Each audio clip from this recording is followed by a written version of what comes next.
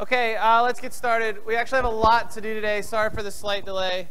I was trying to see if I could push today's homework back a couple hours. I, it may have worked. I clicked 5 p.m. and then it crashed, so I don't know if it worked. Um, and here, here's the reason I want to do that. I want to start today. We actually have a bunch of things we need to get done today, but I did want to start today briefly with a little review of momentum. In particular, I wanted to address some homework, uh, some questions I've gotten over email about the homework. Um, so far, this is the this is the concept. We're talking about momentum. It's a new framework for understanding the world. And here's the main utility of this thing called momentum. Well, let me first just define it. The momentum is the product of your mass and velocity. So as I described earlier, um, a rock, a boulder just sitting there is not scary. Uh, a bullet or some other projectile just sitting there is not scary. It's the product of mass and velocity, which can be very scary. And so a train could be rolling at you very slowly. You still want to get out of the way. Same with a boulder, probably. And so this product of mass times velocity, that's what we call momentum. And if you want to change something's momentum, you apply an impulse. That's F delta t there. If you push on something for a certain amount of time, that's called applying an impulse. The product of how hard you push and how long you push, that product is the change in momentum. So if I have two objects with equal momentum, I can change their momentum equal amounts by pushing on one really hard for a short amount of time, or I can push on another one for not very long, or not very not very hard for a longer amount of time. As long as so if as long as F delta T is the same product. And so as I mentioned, like in a car crash, that's why you have an airbag. When you're when you're driving down the car on a road, you have momentum, P, mv, your mass times your velocity eventually that momentum is going to come to a stop. You want, that's going to happen. So if you're driving down the road and you need to come to a stop, you're going to come to a stop. That has to happen. You've got two options. You can do it for, with a really big push for a short amount of time, like just running into a wall, or you could do it with a slow push for a longer amount of time. Usually it's more comfortable to do the latter. So a lot of the devices in your car, even the seatbelt tensioner, is designed to eh, prolong a collision.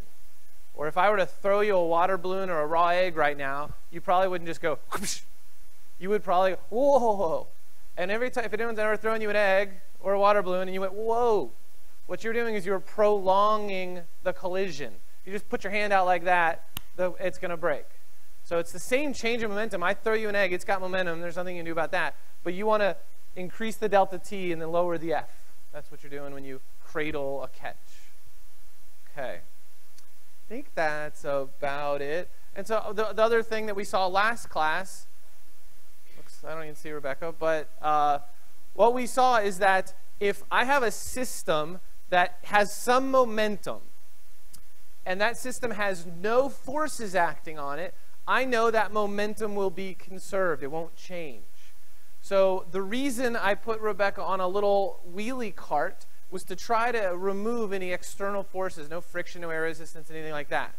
So when she's sitting on the cart at rest with a bunch of carbon dioxide, that the total momentum of that system was zero. She had no momentum. Then when she starts throwing carbon dioxide molecules that direction, the total momentum of the, of the system has to stay zero because there's no forces, no F on the system. So if there's no forces on the system, the momentum of the system can't change. But if I see a bunch of things at rest, all of a sudden something is moving that way, in order to make that true, in order to make the total momentum still be zero, something goes this way. And that we talked about, like if you fire a cannon, and the, the cannon and the cannon ball are at rest. If all of a sudden the cannon ball is going this way, something has to be going this way, by definition. And so when Rebecca was shooting carbon dioxide molecules really fast that way, she shot enough of them and enough of them fast enough that it was, she was able to propel herself. But what you were watching was the conservation of momentum. You were watching the total system keep its momentum. Stuff going that way made stuff go this way. I think that's the whole. Uh, I think that's the whole picture. Um, let's see. We also. So we talked about how that idea, that, that concept of throwing stuff this way, can be a really good way to get around. Especially at the top there, I've got, a, I've got that same picture. There's the Earth on the left. There's our moon that's drawn to scale. It's a scale representation. There's the moon on the right. if you want to get from that place to that place, you, your, most of your traditional forms of, of, of transportation aren't going to work. There's no road or bridge there, and there's actually no air. And so roads and bridges are great for cars and bikes and pedestrians. There's no lake, so you can't take a boat. And you also can't take a plane because if in that picture, the the stuff that planes fly in is about one pixel wide, even probably less than that. And so a plane could get you from the Earth to uh, about a mile, well, six miles above the Earth or something, not too far. And so if you want to traverse that distance, you have to come up with a mode of transportation that doesn't rely on water or roads or bridges or air. And so the best one we've come up with so far is take a bunch of stuff with you and throw it out gradually. That's what a rocket is. You just gather up. So that's what Rebecca had. Rebecca had a tank of compressed carbon dioxide, and she started throwing it out. And that's what rockets do. Is and that's why down below there's a picture of Saturn V. There's the five rockets. There's a human for scale, and you can't even see just due to the perspective. You can't even see where the the people who rode in that thing rode. But it's a tiny, tiny capsule way, way, way at the top. That thing is like uh, 38 stories tall, and it's in the top half a story they put the people. The other 37 and a half stories are just is just a big tank of gas. And so that's the downside, I guess, of rockets is you have to take your gas with you, and you just put all that gas in there, and you just start throwing it out gradually over the course of your of your flight. Now, eventually, you end up with an empty gas tank, and they tend to shed that weight. So if you've ever watched a multi-stage rocket like the Saturn V, or even our space shuttle, rest in peace, uh, they they launch and then they once they're done exhausting that fuel, they'll let go of the gas tank, and then they'll and maybe empty out another one and let go of that one. So Saturn V, I think, was three stages. And so it would blast off, then drop some, then blast that, then drop some. Anyway. Um, oh, by the way, one other thing I wanted to mention uh, before we move on. Last class, I mentioned this whole crazy endeavor of blasting people off the Earth with the Apollo program.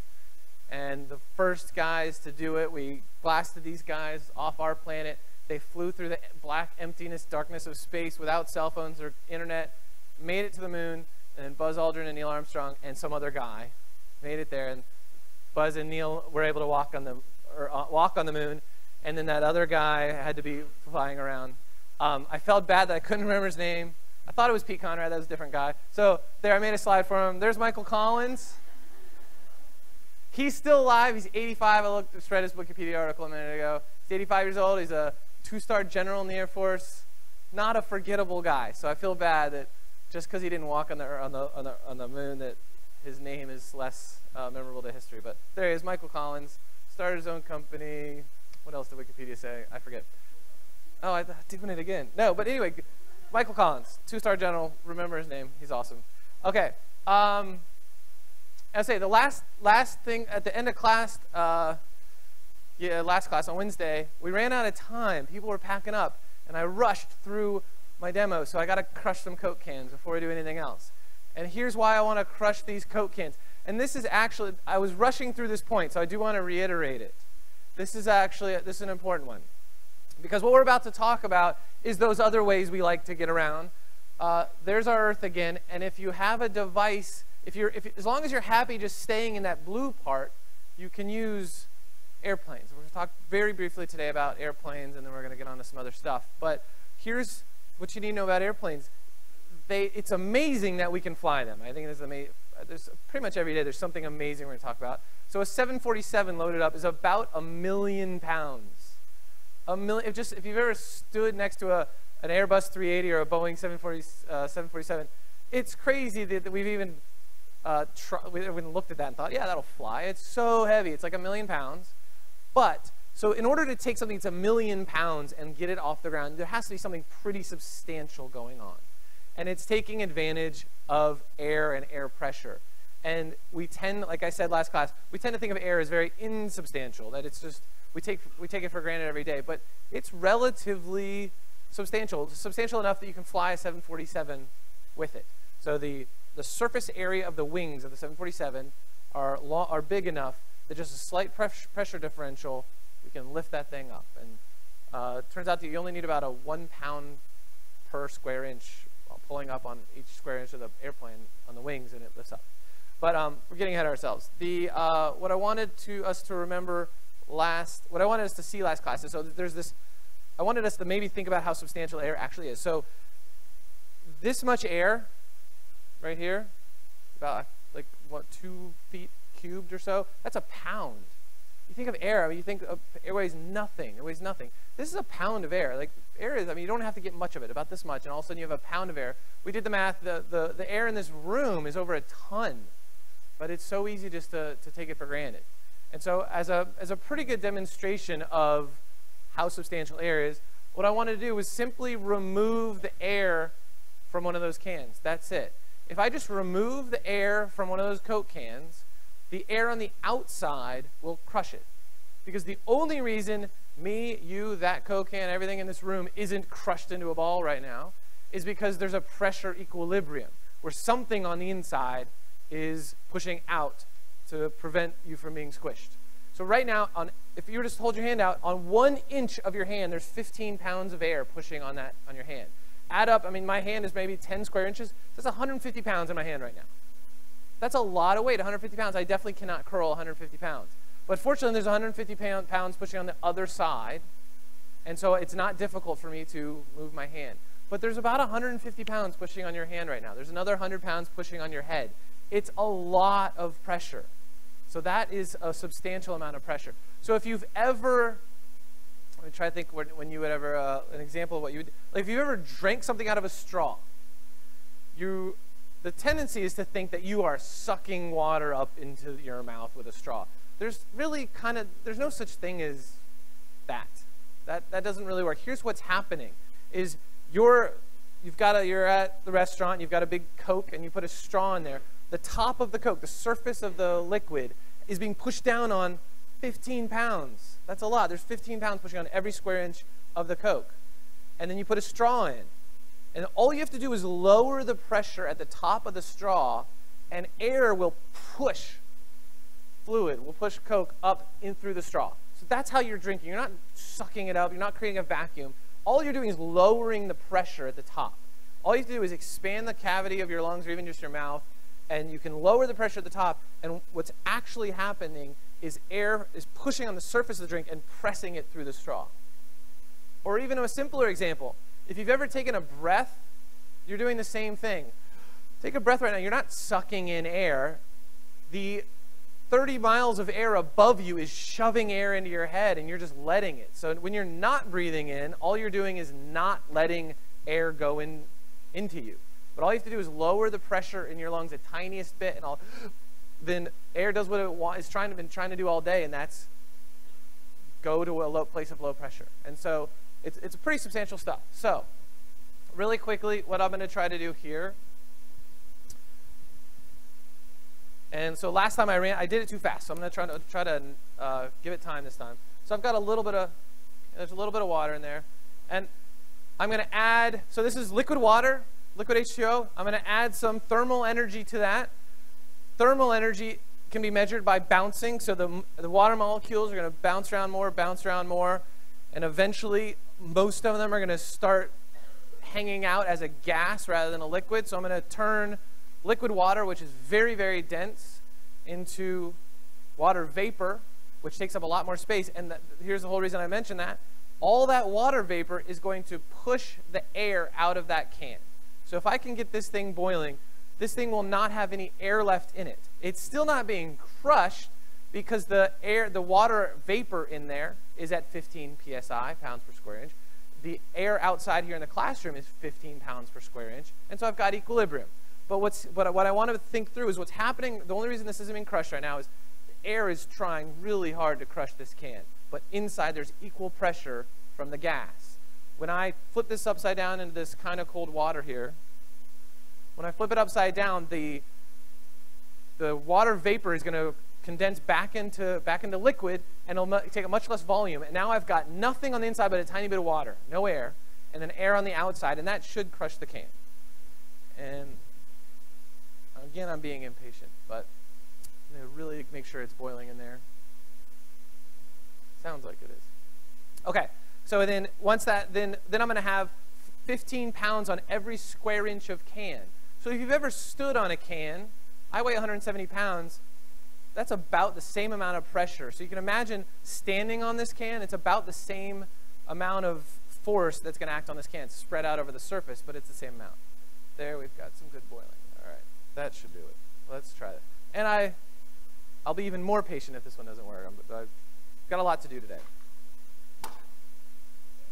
Not bad. I think we could do one more. Okay. Um, but you saw that. So again, you just watched. You just watch the sides of a can seemingly magically just go in inward.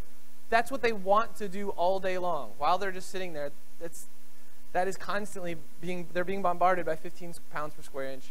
It's just the pressure on the inside that's preventing it from doing that. Let's make sure I've got. That is pretty hot. Just want to make sure I got water in there. Okay. All right. Um, while that's boiling, let's see if we can start talking about uh, flight. I've got about maybe five minutes actually is all I want to spend on this other type of flight, and then we're going to move on. Here's the main thing. This is um, here's the main thing I want us to know in this class. Uh, you may have heard at some point in your life that here's how planes fly, is that there's this particular shape called an airfoil, and the air hits the front of the airfoil and it splits and I've got air going over the top and I've got air going underneath. The air that goes over the top, it takes longer because it's a longer path because it's kind of bumped up. And so the air going over the top takes longer because it's a longer path. Or no, it has to go faster. It has to go faster because it's a longer path in order to meet up with its friends on the other side of the wing. And because it goes faster, it less pressure or something like that due to Bernoulli effect. That's false. So I'd love to dispel that myth. That's not how planes fly. In fact, that picture up there is, is, is not the type of wing I was just describing. Most wings are longer on top. They're kind of bulged on top and flat on the bottom. Here's a wing that's actually symmetric. You can fly a wing that is symmetric. That it's possible. So the whole idea that air moves faster because it has to take a longer path means like the air cares about getting back to its friends or something. It, it's, it's false. So I, here's what I want us to realize that, well, first of all, flight's super complex. We're not, understanding the, the physics behind it is definitely uh, not, I don't want to totally get into that today. There's a couple things going on. It's kind of uh, Newton's third law in that, so you can see that I've got an animation of a plane and it's starting to take off. And when you start to take off, you nose up. If you're in a plane, you get barreling down the runway, and when the pilot decides it's time to take off, he just noses up a little bit. And when you nose up, all of a sudden you've got air molecules hitting the bottom of the wing. It's that complicated. That's a big part of the lift, is you're just, you're just pushing against air molecules. So you're going really fast like this, and you're going to start lifting off. Imagine if you were to hold a, like a, I bet that's boiling by now, but uh, if you were to hold a ping pong paddle out of the car when you're driving, hold it totally flat, or maybe even just your hand, and then just tilt it, it's going to go up. So it's about that hard. If you want to fly, that's kind of what you need to do. You need to get moving very fast through a fluid like air and then tilt your wing up. Change your angle of attack. But then also what you can see in the bottom, the bottom middle pictures, and you're also seeing it up at the top a little bit. What planes are very, the plane wings are very cleverly designed to create a pressure differential. And as I mentioned, a Boeing 737 only needs a pressure differential of about a pound per square inch in order to fly. This one better work. I'm, I'm, that's got to work. Eh, I think that's as good as it's going to get. Okay. Um, thank you. So I think that's, that's, that's pretty crushed. And, oh, I could even zoom in on that. I'll zoom in on that in a second. Uh, that's pretty good. So, but so a, seven, a, Boeing 747, it's got 15 pounds on the bottom of the wing. All it has to do is lower on average from 15 on the bottom to 14 on top. It'll fly. So if every pound of inch, every, if every square inch of the wing has just one pound pulling on it, which isn't much, it's about the weight of a Coke. If it has one pound pulling up on it, you can get the thing to fly. And so what you can see in that in this picture, you can see the blue means low pressure. And so all you have to do is, or the, yeah, uh, yeah, the blue right there means low pressure. And so when you're flying your plane, you can create a little zone of low pressure, and then what this sequence of pictures is showing is that once you get this vortex to shed off the back, that plane on, that, on the far right, you've got a nice equilibrium. You've got a nice steady state of air. You've got a nice steady state of air. There's air flowing underneath. There's air flowing under, over top. And you've got a slight pressure differential at the kind of front quarter of the wing that is going to lift it up. And you don't, it doesn't have to be much. It doesn't have to be much. Like I said, on average, like a pound per square inch, and the thing will fly. And then the, the animation on the top, what I'm trying to show, is that you can get more and more lift the steeper you tilt your wing or the steeper your angle of attack until this nice flow. So that middle, all three of those bottom pictures, you're getting this nice flow over the top. You get this nice flow over the top. Then, but if your if your wing gets too steep, that flow actually separates from the wing, and you get turbulent air behind the wing, and then all of a sudden that nice pressure difference you had is gone. That nice pressure difference, pressure difference you had is gone, and you've got no pressure difference and you have no lift. And that's called stalling. And so if you've ever like seen stuntmen, sometimes they'll do it intentionally. They'll climb, climb, climb until their angle of attack is so crazy, they'll stall out. And you immediately see it. Uh, the phrase I've heard is has a glide path of a set of car keys. It just flies through there like a set of car keys till they can regain lift. Okay, my gift stuff. There it goes. Okay. So right there, you can see the, the boundary layer separating, and then you're getting turbulent air behind the wing, and that's a loss of lift. Okay.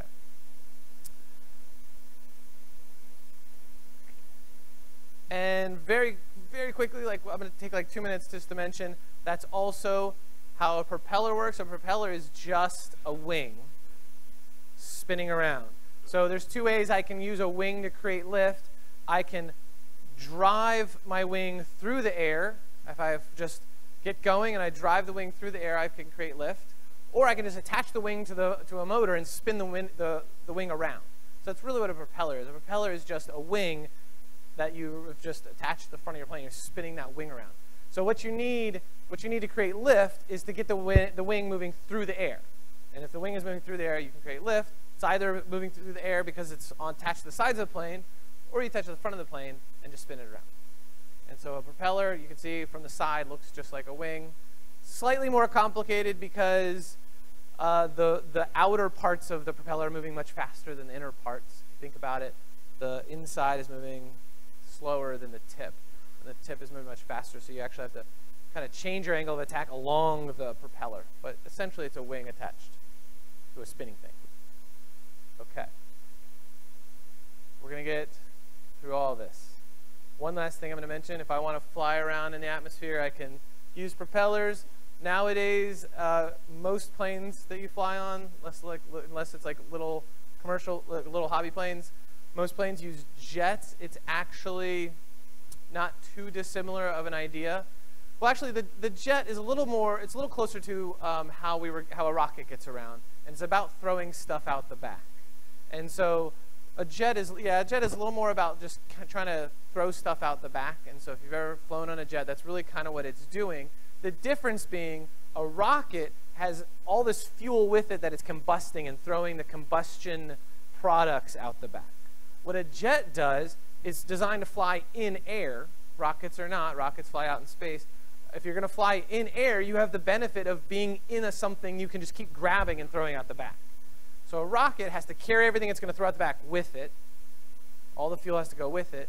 For a jet, and there's two pictures of jets, a jet can just grab air, give it some energy, and throw it out the back, and grab some more air and throw it out the back. So it doesn't have to take the stuff it's going to throw out the back. All it has to take is the fuel to, to do the work to add energy to that, to that fuel. And just very briefly, you can see on the top picture, all a jet is is just a dozen or so fan blades, just like a propeller. It's a dozen or so fan blades. That is, the air comes in.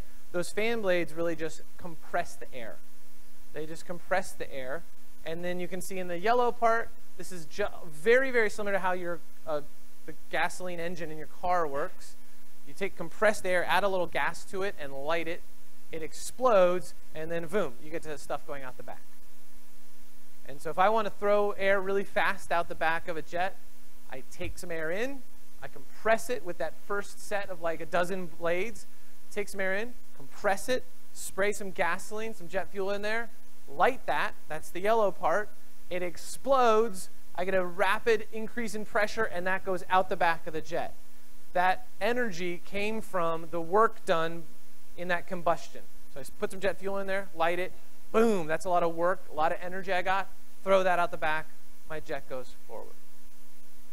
Finally, the last, the bottom picture is if you've ever stood next to a commercial jet, the fan blades are usually huge. What we've learned to do is take that same jet, just like at the top, that's like in a fighter jet. This is the big one you see uh, underneath like a 747. All we've done is take that exhaust that's going out really fast, have that exhaust go past a blade that turns the big blade in the front. And that big blade in the front can sort of recycle that energy. So that as the air is leaving the plane, it's spinning up those front blades. And those front blades can take a lot of air. And notice a lot of the air just goes through that, uh, through that empty, empty part on the top and bottom. And so it actually never goes through the combustion chamber. It just is being pushed on by the big, huge blade. So the big, huge blade that you see on a front of a 747 or something, most of the air it's pushing on is just being pulled in, pushed on a little bit, and sent out the back without ever going through the combustion chamber. Then like maybe the middle 20% or so is being used for the whole compress, gas, explode, out the back thing. So it's sort of, it's added, it's getting a lot more efficient uh, use of the air by doing that. So there's your five minute summary of jets. Um, that's probably enough. Let's do an iClicker.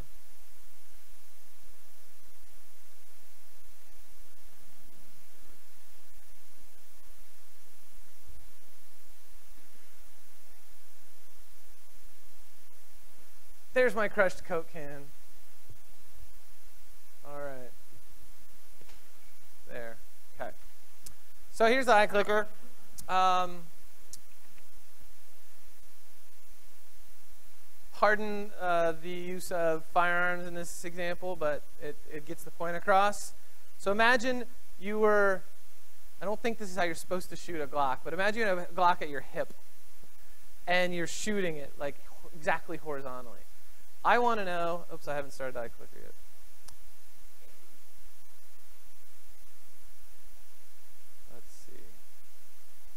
So I want to know how long that bullet's going to be in the air. So you've got, you've got your Glock at your hip, and you shoot a bullet out horizontally, and it's going to go, and by the way, if this helps you do the math, I think it leaves going about 800 miles an hour. It's going 800 miles an hour. I want to know how long that bullet takes to hit the ground. Our clicker is firing up. Come on, iClicker. So A, half a second. B, five seconds. C, 10 seconds. Come on. My iClicker is this computer. I'm to blame it on this system up here. Uh, try it now. There it goes. Okay. It, was it working? Okay. Um, so A, whoa, super zoom in of me. Let's go back to, okay. A, about half a second. B, five seconds. C, about 10 seconds. D, would never hit the ground. There are what? After it leaves the gun, there are no other forces acting on it. No. Oh, well, its own weight. Yeah. Yeah, gravity. Gravity. Its own weight. Yes. So the bullet has weight. That's it. Pardon? How tall am I? I am launching this thing from one meter up.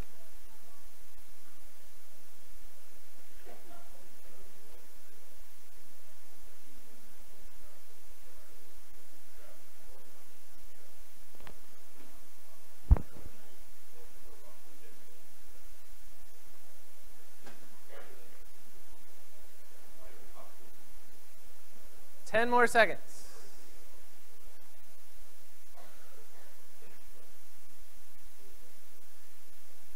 No. Oh. Four. Right. Okay. All right. Um, let's discuss. Not bad. Uh, let's discuss. It is possible. I said uh, your typical Glock shoots about 800 miles an hour, I think. It is possible. So if you said D, maybe you were just got the velocities wrong. Uh, it is possible to shoot something fast enough it never hits the ground. We'll probably talk about that next week.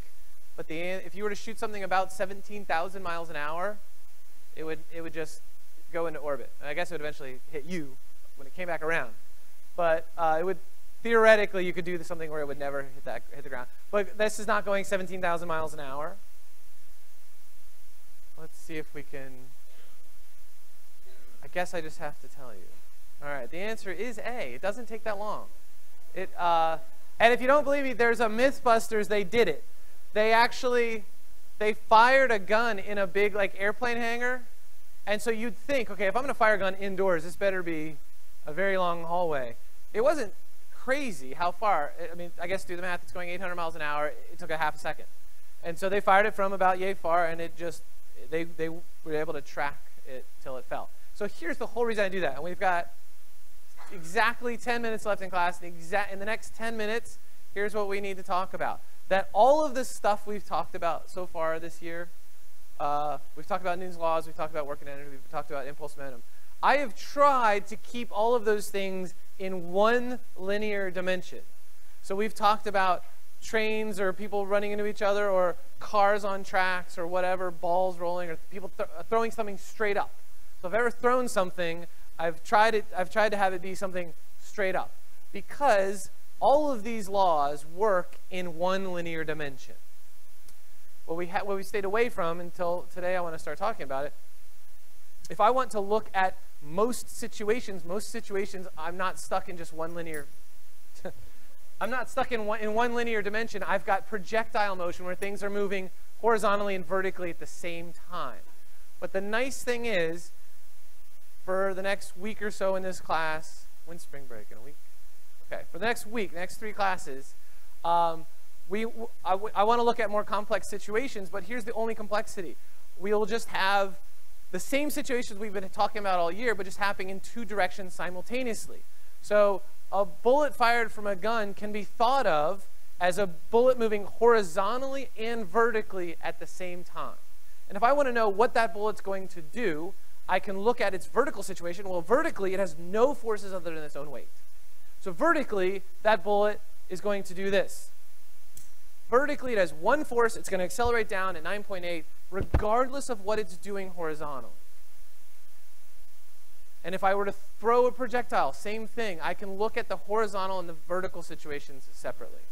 So before I waste any more time, let's. Here's my best example of that. Um, I've got several demos up here. That, see if we can get through at least a couple of them. Um, right here, what I've got is a device that is about as close to uh, me firing a bullet as I can come up with. Right here, you'll see this is a little ball that I just pulled off here. This little ball is just stuck on this little axle right here, and here's another ball right there. When I flick this switch, this axle is going to move this way and knock that ball off. So this ball is going to just go flying. This ball is going to go flying, and it's going to land somewhere over here.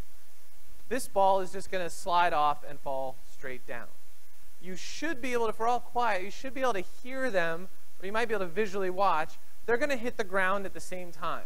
And so you might think, if I take one ball and just drop it from this height, and I take another ball and really zing it from this height, the one that's moving like the bullet is going to take a lot longer to hit the ground. But let's try it. I'll stand over here. Let's try it. And I think you should be able to. You only heard one click. I'll try it one more time. But one, one moved pretty fast horizontally, and the other just dropped. So let's try that one more time. And I, I think you probably can't you probably can't watch both of them, so you just have to trust the sound. But you should only hear one. You should only hear one click. So let's try that again. So they'll both hit the ground at the same time. Okay, that's my best demo of that. Um, let's try, because we're running a long time, let me try my favorite one, just so I don't have to set it up again. Where'd that one go? Thanks. Okay, and this one has an iClicker associated with it. Let's, so everyone quick take a vote.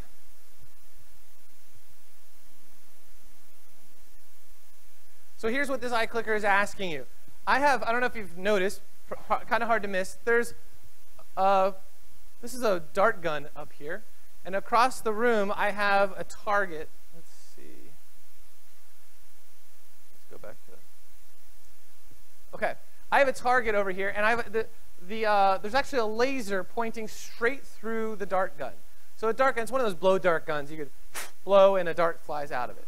There's a laser pointing straight through the dart gun, and the laser is hitting this spot right here. So you can see the laser dot right there.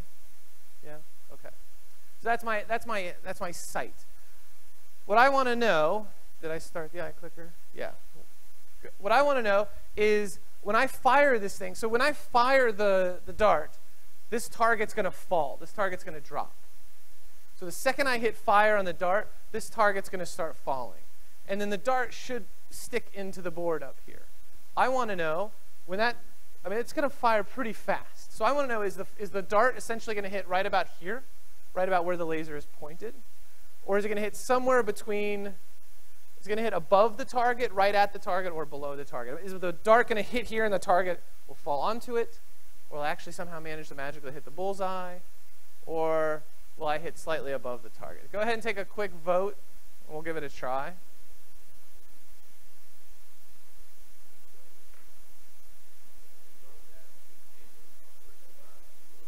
It's angled up. It's ang yeah, right now the dart is the dart is pointed directly at that red spot.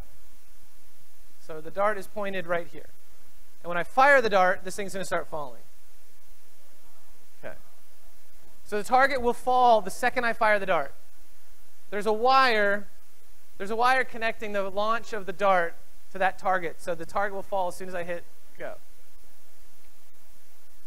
Take five more seconds to vote.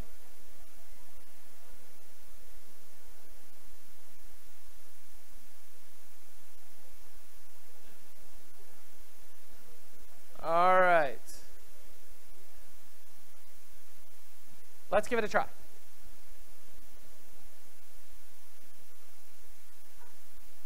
So here's this nice dart. This is an official dart gun. So like I said, when I hit go, when I hit go, this thing should, the target should drop at the same time I hit fire. I don't know if you guys can see that.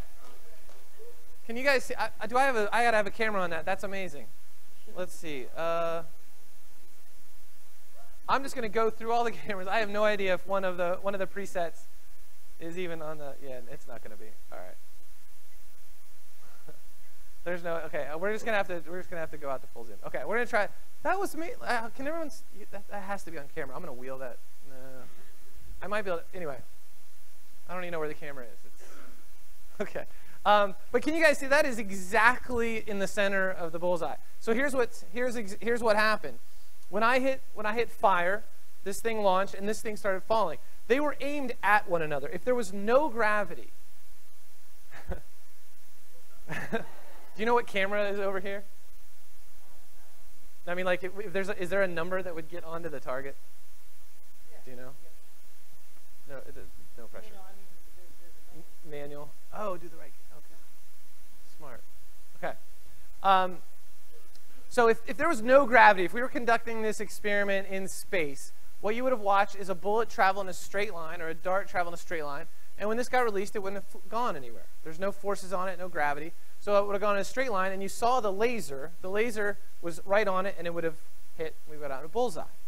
But we were on Earth where both the projectile both the projectile and the target were subjected to the same acceleration.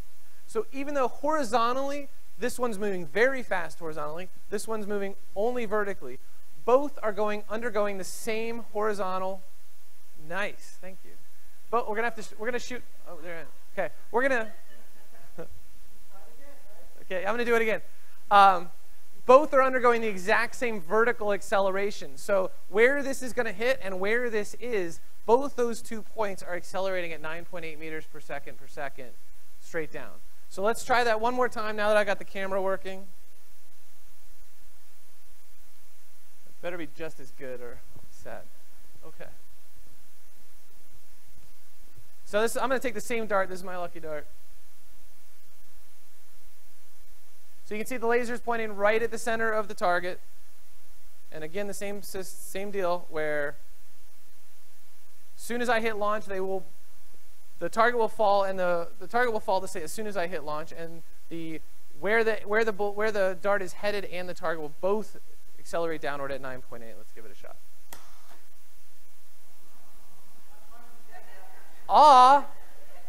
Don't aw. That's still great. I just hit a target. That's that's a good shot. That's a very good shot. I don't think anyone could hit a moving target from like 30 feet away. That is really good. I'm, we'll do it one more time, then I'll let you go. I think that's pretty great.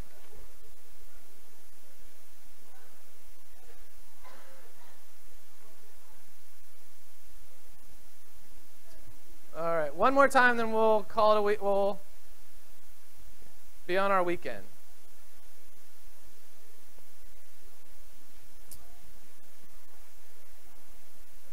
Three, two, one, launch. Hey. oh, you know what? Okay. Yeah. Okay. Thanks. All right.